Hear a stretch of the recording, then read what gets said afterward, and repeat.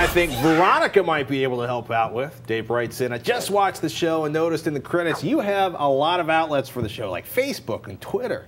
I wonder if there's a website or software that will let you write once and post to many social networking sites in a single go. I've seen sites that let you review many sites from one page, but other sites that take that one step further. Dave, in the United Kingdom, Veronica.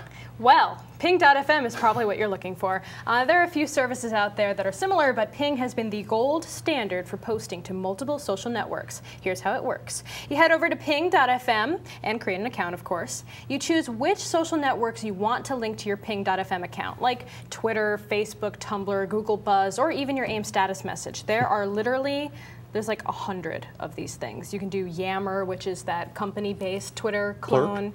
They, you can do ooh Plurk. Is Plurk still around? Let's see. Is Plurk on the list? No, it's not on the list actually, which is kind of funny, but it is still around. Ah, good to know. Vox, which people don't really use that much anymore. Uh, Photobucket, for example. Pretty much anything you can think of that gets widely used these days. Um, you can then group your social networks, like making Twitter and Facebook the default sites for status messages, while Flickr and Photobucket, for example, can be defaults for photo sharing. so if I want to upload to my Facebook page and also want to upload to Flickr at the same time, you can do that in one fell swoop.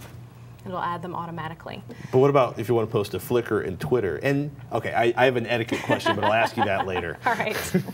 then, of course, you create a message and choose which groups or sites you want to post them to. Ping.fm will automatically update those sites with your content. It's a great one-stop shop for posting content to the internet, but be careful. It's never fun to read repeat messages if you follow someone on multiple networks, for ah. example, so be conscientious to not spam your friends across networks with the same info all the time. Some networks are better suited for some things than others, so you kind of have to tailor it to what you're posting. That was my etiquette question because I'm like, you know, what if somebody puts the same message on like 32 social networks simultaneously, and then mm-hmm. your your your aggregator gets all of them at the same time, and it's like, you know, Bob. It becomes a black hole. A black actually. hole. You get sucked into a black hole of social networking status updates. it's not pretty.